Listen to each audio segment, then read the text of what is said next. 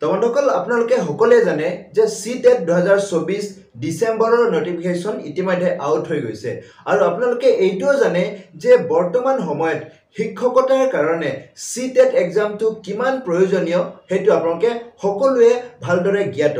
হয় বন্ধুসকল C TET আপোনালোকে দি পেলাই শিক্ষকতা চাকৰি এল পি আৰু ইউ পি ছেকশ্যনত কৰিব পাৰিব বা চাকৰিটো কৰিব পাৰিব। যিহেতুকে অসম চৰকাৰে অসম চৰকাৰৰ কোনো ধৰণৰ আছাম টেট অনুষ্ঠিত কৰা নাই বা তাৰ পৰিপ্ৰেক্ষিতত আপোনালোকে চি টেট দি পেলাই আপোনালোকে অসমত যিবিলাক ভেকেঞ্চি ওলাব যিহেতুকে হিমন্ত বিশ্ব শৰ্মা ডাঙৰীয়া ইতিমধ্যে ঘোষণা কৰিছে যে অতি শীঘ্ৰে তেওঁলোকে নটিফিকেশ্যন আউট কৰিব এল পি ইউ পি টিচাৰ্ছৰ ভেকেঞ্চি লিষ্ট আৰু সেই ভেকেঞ্চি বা সেই নটিফিকেশ্যন বা সেই এডভাৰটাইজমেণ্টত এপ্লাই কৰিবলৈ হ'লে আপোনালোকে চি টেট পাছ কৰাটো বাঞ্ছনীয় হ'ব লাগিব যিহেতুকে আছাম টেট এতিয়া অনুষ্ঠিত নকৰে। তো বন্ধুসকল তেতিয়াহ'লে আপোনালোকে এই চি টেট এক্সামটো কেনেকৈ দিব?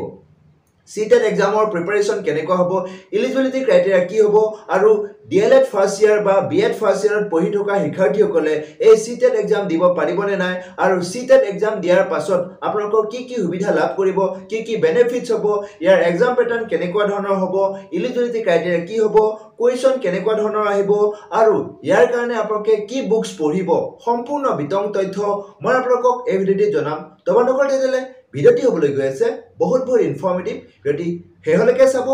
তো বলক আজিৰ মূল ভিডিঅ'টিলৈ আমি আগবাঢ়োঁ। হয় বন্ধুসকল চি টেট দুহেজাৰ চৌবিছ ডিচেম্বৰ অৰ্থাৎ যিহেতুকে চি টেট এবছৰত দুবাৰকৈ তেওঁলোকে অনুষ্ঠিত কৰে এটা হৈছে জুন জুলাই আৰু আনটো হৈছে জানুৱাৰী ডিচেম্বৰ। তো এই যে ডিচেম্বৰ জানুৱাৰী যিটো নটিফিকেশ্যন ইতিমধ্যে আউট হৈ গৈছে। আৰু ইয়াৰ এপ্লাই প্ৰক্ৰিয়া ইতিমধ্যে আৰম্ভ হৈ গৈছে। যোৱাকালি অৰ্থাৎ সোতৰ ছেপ্টেম্বৰৰ পৰা এপ্লাই প্ৰক্ৰিয়া আৰম্ভ হৈ গৈছে। হয় বন্ধুসকল এইখিনিতে মই আপোনালোকক এটা কথা জনাই দিওঁ। এই চি টেট এক্সামৰ যিটো এই চি টেট এক্সাম আপোনালোকে যিমান পাৰে সোনকালে এপ্লাই কৰিব যিহেতুকে লাষ্টৰ ফাললৈ আপোনালোকৰ শ্লটটো নাইকিয়া হৈ যায়। অৰ্থাৎ যিহেতুকে তেওঁলোকে এক্সামৰ কিছুমান শ্লট থাকে সেই শ্লট মতে তেওঁলোকে এক্সামটো অনুষ্ঠিত কৰে কিন্তু পিছৰ পৰ্যায়লৈ বহুত শিক্ষাৰ্থী এপ্লাই কৰাৰ পাছত শ্লটটো নাথাকেগৈ। সেইটো কাৰণে আপোনালোকে যিমান সোনকালে পাৰে আগতীয়াকৈ এপ্লাই কৰিব যাতে আপোনাৰ প্ৰিফাৰেঞ্চটো ওচৰৰ মানে চেণ্টাৰখনত আপোনালোকে চুজ কৰি পেলাই এক্সামটো দিব পাৰে। হয় বন্ধুসকল আপোনালোকক দুটা পেপাৰৰ এক্সাম হয় চি টেট এক্সামত পেপাৰ ওৱান আৰু পেপাৰ টু পেপাৰ ওৱান যিটো হয় এইটো L P section class one two five হয়। আৰু পেপাৰ টু যিটো হয় আপোনালোকৰ আপাৰ প্ৰাইমাৰী অৰ্থাৎ ছিক্স টু এইট হয়। ছিক্স ছেভেন এইট আপোনালোকে এই আপাৰ প্ৰাইমাৰী পেপাৰ পেপাৰ টুত আপোনালোকে এপ্লাই কৰিব পাৰিব। আৰু পেপাৰ ওৱান আৰু পেপাৰ টু দুইটাৰ কাৰণে ইলিজিবিলিটি ক্ৰাইটেৰিয়া বেলেগ বেলেগ। পেপাৰ ওৱানৰ কাৰণে আপোনালোকৰ এইচ এছ পাছ হ'ব লাগিব য'ত আপোনালোকৰ এগ্ৰিগেট ফিফটি পাৰ্চেণ্ট মাৰ্কছ থাকিব লাগিব। লগতে আপোনাৰ ডি এল এড থাকিব লাগিব। বি এড থাকিলে নহ'ব ডি এল এড থাকিব লাগিব। আনহাতে যদি আপুনি পেপাৰ টু দিব বিচাৰে তেতিয়াহ'লে আপোনালোকে গ্ৰেজুৱেশ্যন কমপ্লিট হ'ব লাগিব আৰু আপোনালোকৰ যিটো বি এড বা ডি এল এড থাকিব লাগিব। আৰু যিসকল শিক্ষাৰ্থী বি এড আছে কেৱল মাত্ৰ পেপাৰ টুহে দিব পাৰিব। আৰু যিসকল শিক্ষাৰ্থী ডি এল এড আছে অথচ তেওঁ গ্ৰেজুৱেশ্যন তেতিয়াহ'লে তেওঁলোকে দুখন পেপাৰ পেপাৰ ওৱান আৰু পেপাৰ টু দুটাই দিব পাৰিব। পেপাৰ ওৱান আৰু পেপাৰ টু যদি আপোনালোকে দিয়ে তেতিয়াহ'লে আপোনালোকৰ যিটো ফিজ জেনেৰেলৰ কাৰণে বাৰশ টকা পৰিব আৰু এছ টি এছ চিসকলৰ কাৰণে সেইটো ছশ টকা পৰিব যদিহে পেপাৰ ওৱান আৰু পেপাৰ টু দুয়োটাই দিয়ে। আনহাতে যদি কেৱল এখন পেপাৰ দিয়ে আপোনালোকে এছ টি এছ চিৰ কাৰণে পাঁচশ টকা আৰু জেনেৰেলৰ কাৰণে এহেজাৰ টকা আপোনালোকে ফিজটো পে' কৰিব লাগিব এই এক্সামটো দিবলৈ। আৰু এই চি টেট এক্সামৰ এটা সুবিধা কি? আপোনালোকে যদি এই এক্সামটো দিয়ে আৰু আপোনালোকে এক্সাম কোৱালিফাই কৰাৰ পাছত যিটো চাৰ্টিফিকেট আপোনালোকে লাভ কৰিব সেই চাৰ্টিফিকেটৰ যিটো ভেলিডিটি সেইটো লাইফ টাইম হয়। অৰ্থাৎ ইয়াৰ ভেলিডিটি বোলে সাত বছৰৰ কাৰণে ইয়াৰ ভেলিডিটি দহ বছৰৰ কাৰণে তেনেকুৱা কোনো সীমাবদ্ধতা নাই বা তেনেকুৱা কোনো ধৰণৰ ভেলিডিটি নাই। আপোনালোকে গোটেই লাইফ টাইম আপোনালোকে এই চি টেট চাৰ্টিফিকেটৰ ভেলিডিটিটো ইউজ কৰিব পাৰিব। এইখিনিতে আৰু এটা ভাল কথা কি চি টেট এক্সামৰ কোনো ধৰণৰ নেগেটিভ মাৰ্কিং ছিষ্টেম নাই। অৰ্থাৎ নেগেটিভ মাৰ্ক নাই। আপুনি কিবা এটা কুৱেশ্যন ভুল কৰিলে নেগেটিভ মাৰ্ক নাই। আপুনি যিটো শুদ্ধ কৰিছে একজেক্ট আপুনি সেই শুদ্ধৰ যিটো কুৱেশ্যনৰ যিটো মাৰ্কছ সেই কুৱেশ্যনবিলাকৰ বা সেই মাৰ্কছটো আপুনি লাভ কৰিব। আৰু এই যে আপোনালোকৰ কুৱেশ্যনটো আহিব ট'টেল আপোনালোকৰ এম চি কিউ হ'ব পেন এণ্ড পেপাৰ মডত হ'ব অফলাইন হ'ব এক্সামটো অৰ্থাৎ এই এক্সামটো অফলাইনভাৱে আপোনালোকে দিব লাগিব পেন এণ্ড পেপাৰ মডত হ'ব অ' এম আৰ চিটত আপোনালোকে ফিল আপ কৰিব লাগিব। আৰু এই এল পি ছেকশ্যন আৰু ইউ পি ছেকশ্যন অৰ্থাৎ পেপাৰ ওৱান আৰু পেপাৰ টু যি কুৱেশ্যনৰ পেটাৰ্ণ সেইটো আপোনালোকৰ ওৱান ফিফটি কুৱেশ্যনকৈ থাকিব। দুইটাতে আপোনালোকৰ ডেৰশটা কুৱেশ্যন থাকিব ডেৰশ নম্বৰৰ পৰীক্ষা হ'ব।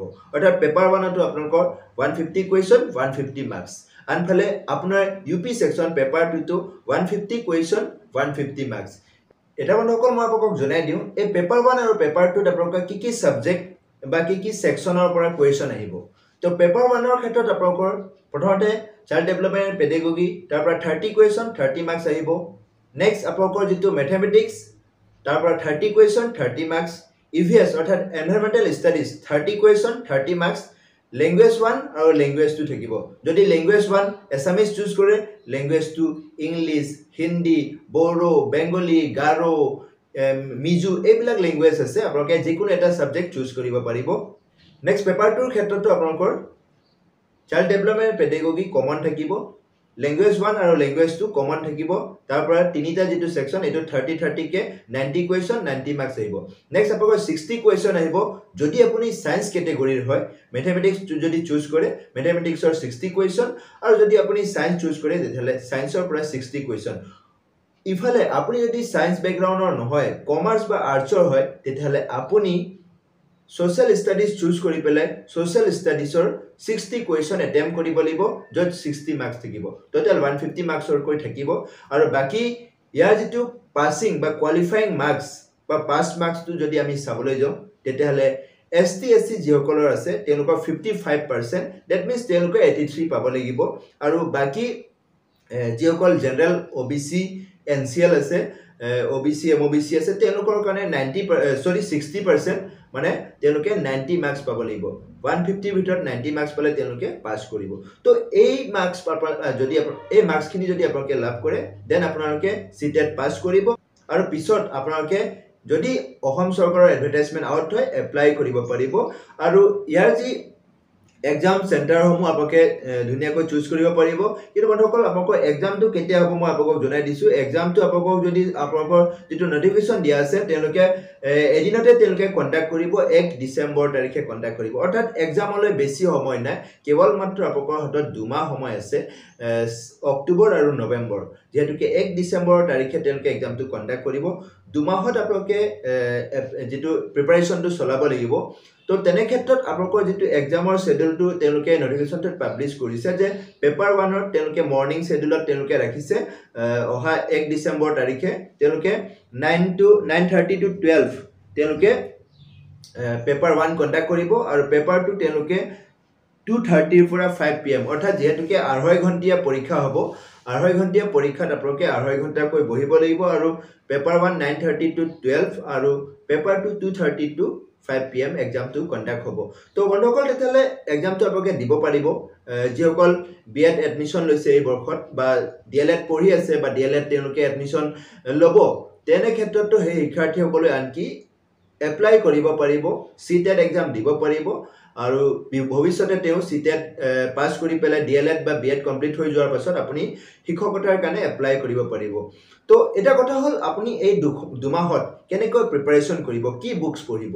তো মানুহসকল ইয়াৰ কাৰণে চি টেট আপুনি পেপাৰ ওৱান পেপাৰ টুৰ কাৰণে কিছুমান গাইড বুকছ পোৱা যায়। আৰু সেই গাইড বুকছৰ ভিতৰত আমি যদি চাবলৈ যাওঁ আৰিহান্তাৰ বুকছ বেষ্ট হয় চি টেট এক্সামৰ কাৰণে। আৰিহন আপোনালোকে পেপাৰ ওৱানৰ ল'ব পাৰে পেপাৰ টু ব'থ থকা paper one paper two both থকা ল'ব পাৰে।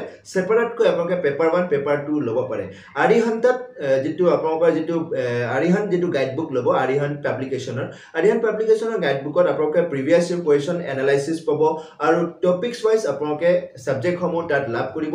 তাৰ কাৰণে আপোনালোকক মই ভাবোঁ যদি আপোনালোকে আৰিহান পাব্লিকেশ্যনৰ বুকছটো পঢ়ে অফক'ৰ্ছ আপোনালোকে এক্সামটো কোৱালিফাই কৰিব। ইফালে যদি আপোনাৰ গাইড বুকছ লোৱাৰ কোনো মন নাই তেতিয়াহ'লে আপুনি ক্লাছ ছিক্স ছেভেন এইট যিটো social science E V S আৰু যিটো আপোনালোকৰ কি কয় আপোনালোকৰ মেথমেটিক্স ছায়েন্স এইবিলাক যদি পঢ়ে তেতিয়াহ'লে আপুনি কিন্তু এক্সামটো ধুনীয়াকৈ এপিয়াৰ কৰিব পাৰিব। লেংগুৱেজ ওৱান আৰু লেংগুৱেজ টু ইমান অসুবিধা নহ'ব।